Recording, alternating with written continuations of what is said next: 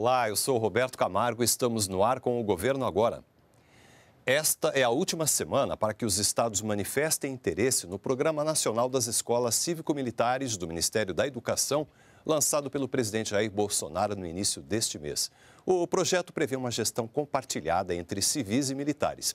A meta é implantar 217 escolas de educação básica por esse sistema em todos os estados até 2023. Para o governo, o programa deve melhorar a qualidade do ensino com uma parceria entre pais, alunos, gestores e professores.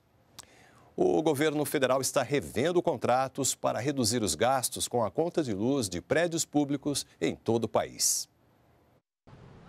Em 2018, o Poder Executivo Federal gastou 1 bilhão e 800 milhões de reais só com a conta de luz dos órgãos públicos. Um gasto que deve diminuir com a revisão dos contratos de energia elétrica.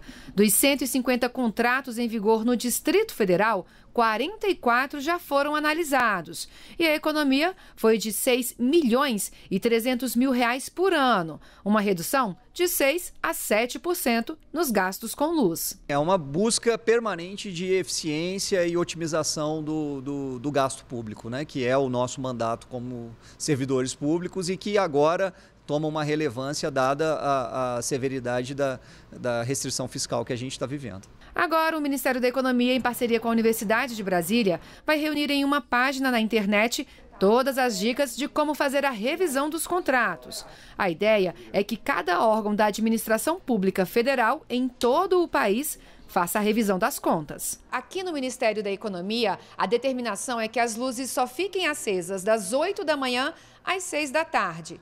Depois do expediente, apenas os gabinetes ficam com energia elétrica. Aqueles servidores que precisam estender a sua jornada de trabalho para além das 18 horas estão vindo trabalhar aqui no, no gabinete e nós estamos compartilhando o espaço e otimizando de forma que o restante das salas são apagadas a partir das 18 horas. O programa Saúde na Hora, lançado em maio pelo governo federal, superou a meta de habilitar até mil unidades de saúde da família ainda este ano.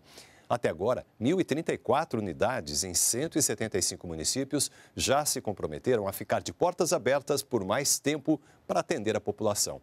Atuam nestas unidades quase 4 mil equipes de saúde da família e 1.500 equipes de saúde bucal, o que representa uma cobertura de aproximadamente 13 milhões de brasileiros.